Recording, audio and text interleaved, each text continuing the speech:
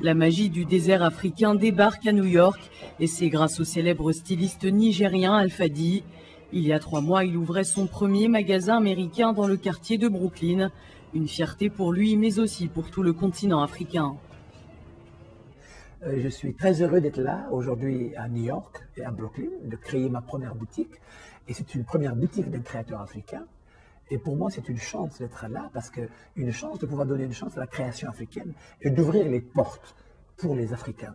Les Africains, on ne considère pas souvent dans la création, qu'on croit que l'Afrique est un continent de guerre, un continent de rébellion, un continent de coup d'État, mais on a voulu montrer que l'Afrique aussi est un continent qui crée, qui bouge, un continent qui doit être aimé et un continent qui doit avoir un visage humain. C'est pour ça que j'ai choisi Brooklyn, aussi parce que Brooklyn est une ville superbe, mixte, une ville où il y a tout le monde, une ville où, qui devient très à la mode aujourd'hui à New York, parce que Brooklyn, à côté de Manhattan, apporte tout ce que Manhattan apporte. Bien que ce soit son premier showroom outre-Atlantique, Alfadi n'est pas méconnu des fans de mode américains. Après son succès en Europe, ce père de six enfants compte bien tirer parti des possibilités qui s'offrent à lui aux États-Unis.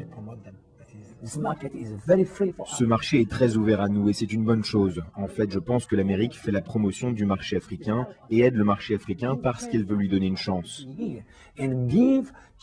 L'Amérique donne une chance à les créateurs africains, à leur intelligence, aux artisans africains de gagner de l'argent en Afrique pour qu'ils puissent rester vivre en Afrique. C'est pourquoi le marché américain est très différent du marché européen. Tout est compliqué en Europe. Ils aident les pays africains aussi, mais je pense que le marché américain y contribue davantage. Tant bien que mal, Al-Fadi milite pour une véritable authenticité de la mode africaine à travers plusieurs événements comme l'organisation du Festival international de la mode africaine, le FIMA. Il œuvre pour une dynamique et une reconnaissance internationale des couturiers du continent. Cependant, le marché de la mode sur le continent africain même peine à se développer, faute de moyens et d'investissement des gouvernements.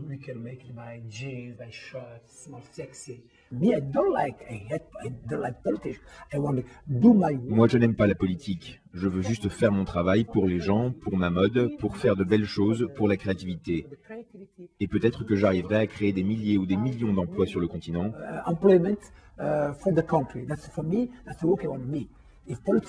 Si les politiques faisaient correctement leur travail en termes de démocratie, de liberté, etc., alors l'Afrique pourra grandir.